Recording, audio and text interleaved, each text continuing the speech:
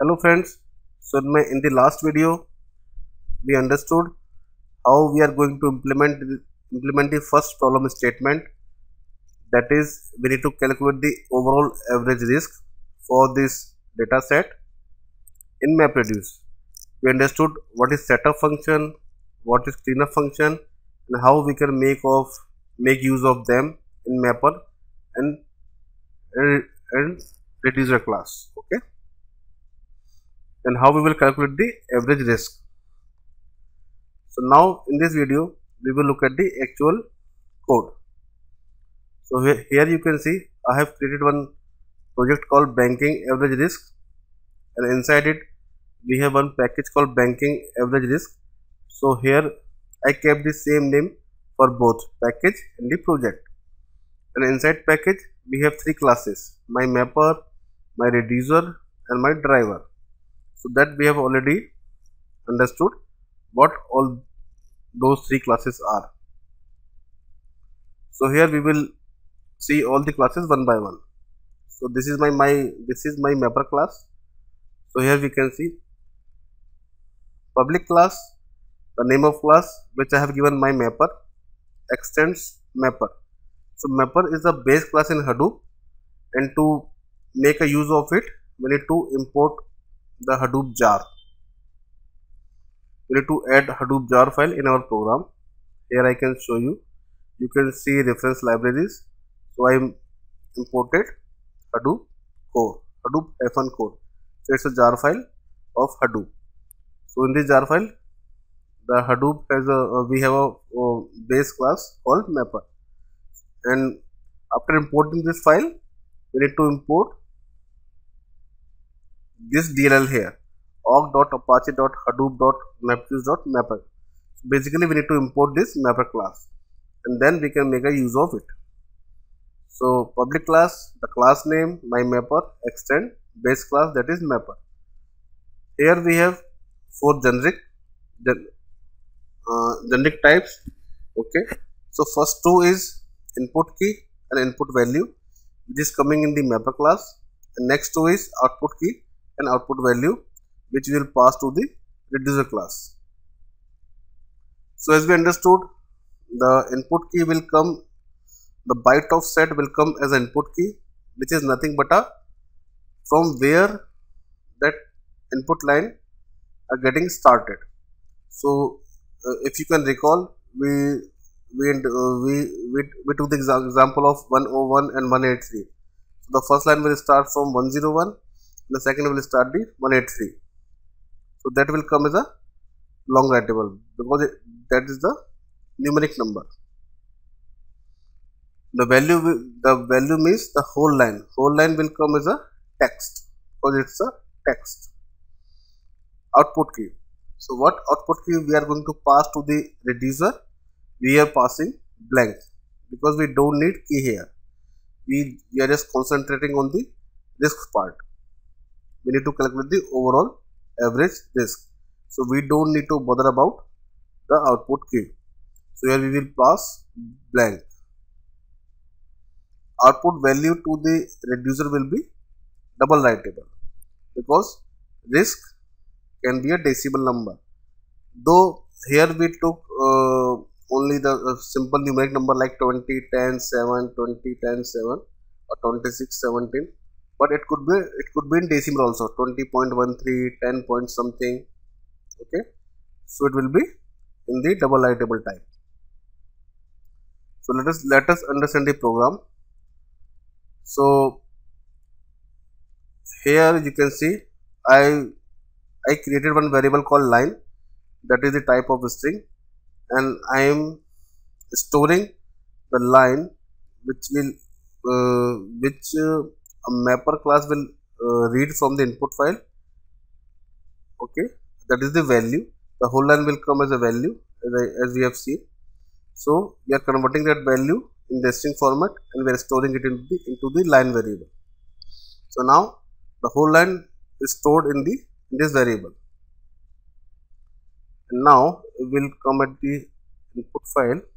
Here our input file is delimited by comma 1 comma john comma loan account number and so on. 2 comma my comma loan account number and so on. So here when we store the whole line into this variable we can divide that that line. We can split that line by the comma okay? So the so now the whole line will be converted into the array. Array. And the name of the array is line part so here we just need to concentrate on the risk column. So here we can see. Let's remove this 101 and 183 because we don't we just kept it for our for our understanding. Okay. So here we need to we are concentrating only on the risk part. So calculate where that risk is stored. I mean what is the index of this column? So array always start with the zero. So the first column is customer id that is that will start from zero. John will come at first position. Loan account number will come at second position. The sanction loan amount will come as fourth. Currency will come as come at fifth number. The disbursed loan amount will come at seventh. Sorry 0 1 2 3 4 5 6 7 so on the seventh number we have risk. Okay? So i created one variable called risk and which is the which is the double type because we are storing risk from that input file into this variable. And i told you risk could be in the decimal format. So seventh uh, value in that file is risk. We are storing that value into this variable and we are passing that risk to the reducer as it is. We are not doing anything because we need to we will perform aggregation in the reducer class. So we just reading the file input file in the mapper class. We are fetching the risk and, and we are passing it to the reducer now let's go to the reducer class. Here. So reducer class is basically public class the, the name of the class that is my reducer extends reducer. Reducer is again a base class like a mapper and it exists in inside this library. So we need to import this one org.apache.hadoop.mapreduce.reducer okay. Now again these all four are generic type. So as you can see we are passing key blank key as a text and value in double writable and that will be the input for the reducer. So blank key will, will come as text the risk will come as a double writable and this another two are the how we are going to store the data into the output file. So we will store the key as a text which will pass nothing. Nothing means blank. And the overall average risk will be in the double writable type. Now here i define three variable. Global variable. So which will be accessible throughout the, throughout this class. So double gl sum means global sum. So i initiated it with 0 i initialized it with 0 the second one is global count. Again i initialized it with 0 the next one is average. So that will be in the double. Sum can also be in the double. Because if we have risk in the decimal format then sum will also become in decimal format so it will be double. And count will always come in integer because count can, cannot be a decimal. Uh, average can be a decimal so i define a type double. This is our reduce function. So in the reduce function the first is the key which is blank. We passed from the mapper blank blank but the text type. So type is text the name is i kept the same name as a key. Value in the reduce function always be a iterable with the type which we are passing it from mapper. So from mapper we are passing risk with the double type. So the type of this iterable is double. And why always the type uh, second uh, the value for uh, for the uh, value in the reduce method is iterable? Because reduce is basically to perform the aggregation or summary.